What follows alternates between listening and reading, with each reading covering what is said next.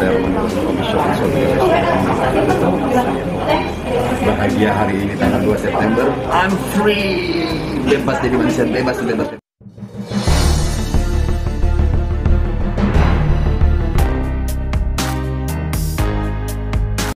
Pedangdut Saipul Jamil mengaku tak mempermasalahkan soal boykot yang dilakukan haters kepadanya.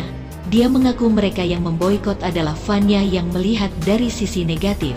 Akan tetapi, Saipul Jamil tidak mempermasalahkan petisi pemboikotan atas nama dia. Ada sekira 400 ribu orang yang memboikot Saipul Jamil. Namun, pria yang dipenjara lantaran kasus pelecehan anak ini merasa tidak peduli. Dia menyadari bahwa risiko sebagai selebritas memiliki banyak pembenci, termasuk jika melakukan kesalahan kecil. Namanya orang enggak suka ada saja.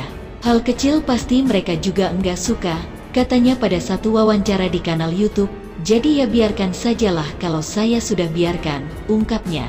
Saipul berjanji akan bersama-sama dengan penggemarnya, sementara dengan haters, dia tak akan menggubrisnya.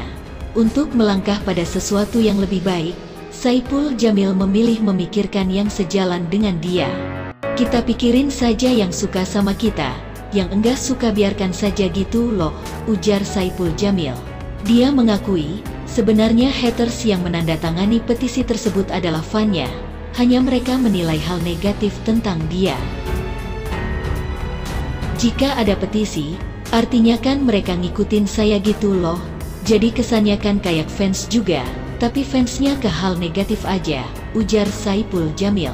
Saipul lantas berdoa agar haters bertaubat dan mendoakan para haters tersebut agar mampu mendapatkan hidayah.